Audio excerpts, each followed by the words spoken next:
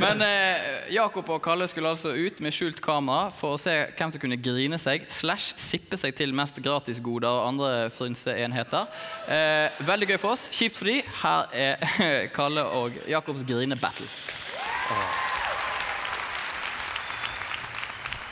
Hei. Hvor har dere slips eh, hen? Jeg er ute på Det her er fint. Har du det i, eh, i neongult, eller?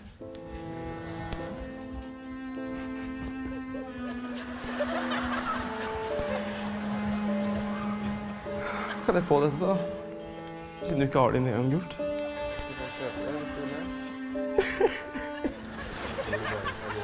Altså, hvis du skal ha en ting, så må du liksom smelle til litt.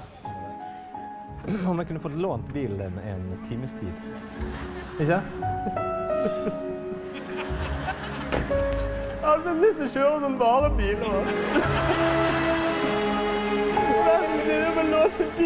Det spiller altfor stort, ikke sant? Det er det som er problemet. Less is more. Jeg prøvde å si til han less is more. Hør på dette. Kvinna. Vent. De må ikke bare gå bort. Ja, det er det.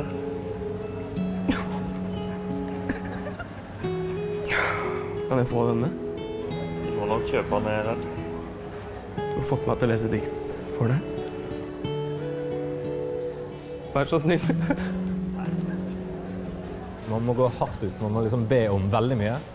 Og så, hvis ikke det går, så ber man noe litt mindre. Og da er det mye større sannsynlighet for å, for å få det, da. Jeg ser jenter en sånn knagg med sugepropp. Hvor det er en sånn sol, og så står det Carpe Diem på. Nei, det har vi ikke, dessverre.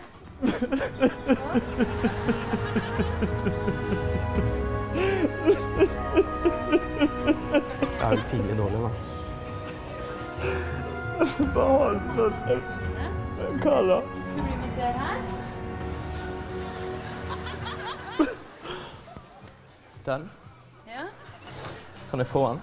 Mm, vi kan dessverre ikke gi bort. Du bare få det. Er, du har jo mange der. Du har jo hundre oppi der òg. Dessverre. Det var ikke akkurat noe I spillet der.